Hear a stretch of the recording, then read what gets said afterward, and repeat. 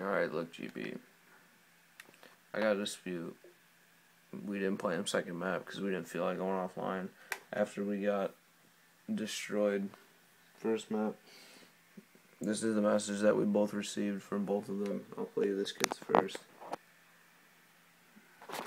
if we go offline, boot host boot because we're not bitches. But if we go offline, I'm gonna go take one of y'all offline and we just gonna dispute and upload proof, so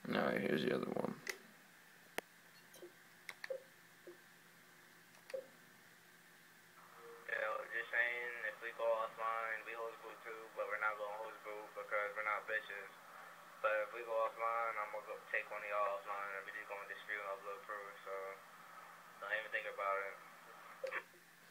Alright, so after hearing that and wanting to watch Netflix after we were done playing tonight, we really didn't feel like anything happening to our routers.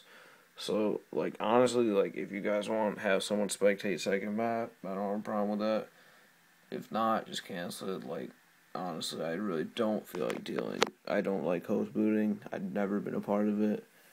Never done any of this shit. That's really all I got.